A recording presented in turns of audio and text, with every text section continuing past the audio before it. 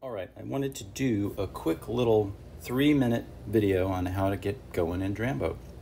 All right, so for launch Drambo, you have an empty session, no instruments. So the first thing that you can do is hit this little plus sign, go to add audio unit instrument, pick your instrument that you like, expand this view, pull this down, pick a preset that you like, pull this back up, close this, and start playing on the keyboard.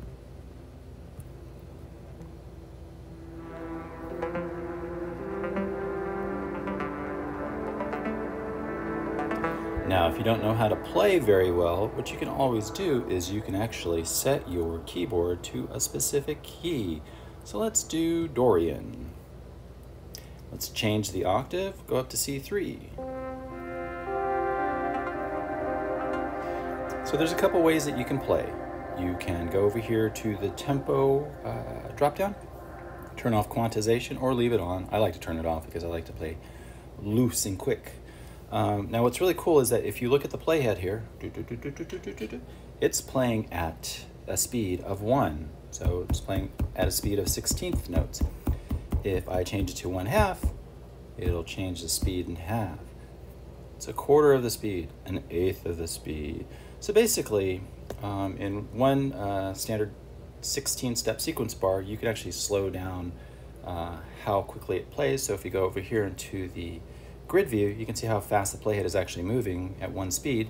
But the one that we just set to, what did we set it to? We set it to one quarter or one eighth is playing at an eighth of the speed. I'll set it to a quarter of the speed. Get out of this view. Okay, let's go ahead and record something. So I'm just turning on the record head.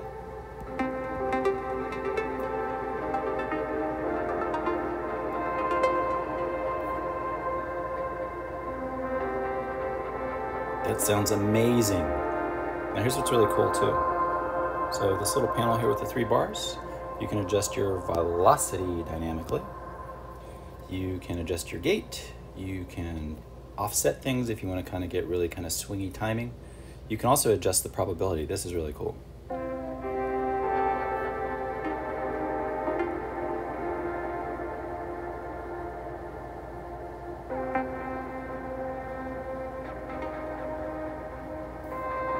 So it's not playing every note. It's really good for drums and some ambient textures. Um, this cycle thing is the best thing since sliced bread. So this basically tells the playhead how often to play. So um, over the course of four bars, it's not going to play at all. Oh, that one will. But what I want it to do is I want it to play on the first and third bars. So those notes will only play on the first and third bars. So if we start it, You'll hear it the first time, you won't hear it, you'll hear it, you won't hear it.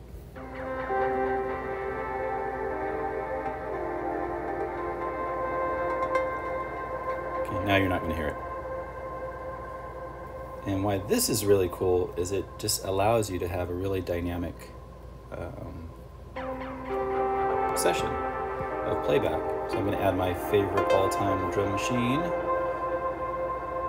I'm going to add a really cool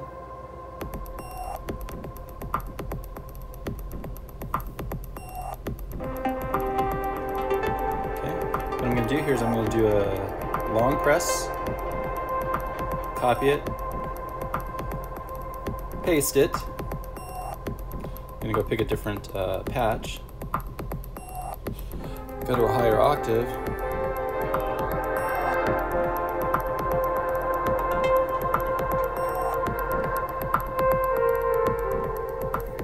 Okay, let's see if we can knock something out here. Let's go to a quarter speed.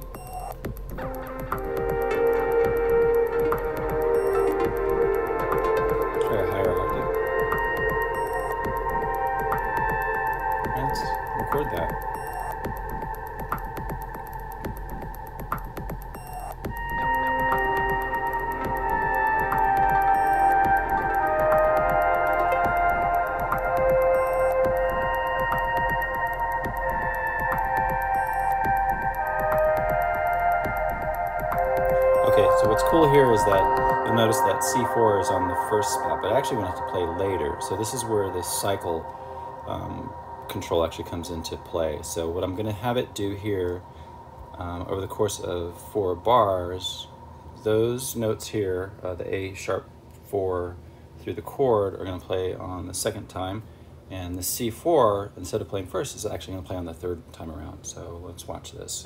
So you won't hear these notes at all.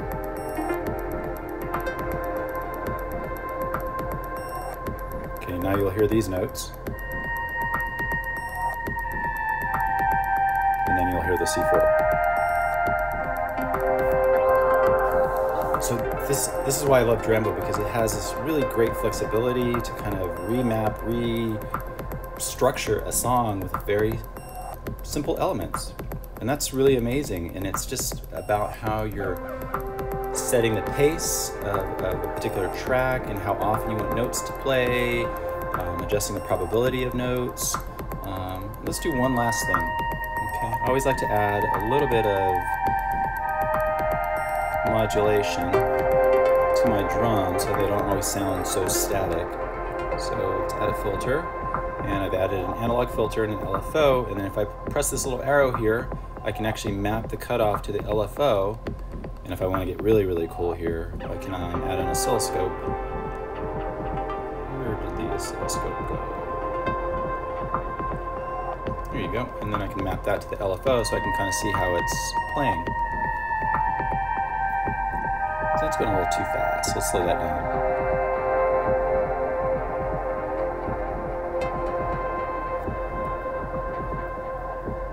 Spam, spam. All right, anyway, hope that was helpful. Uh, I'm actually going to save this because it's actually kind of kind of nice. Um, September, yeah. All right, cool. Uh, little how to groove. All right, well, save samples. Hopefully you like that. Let me know if you have any questions, and thanks for watching. Bye.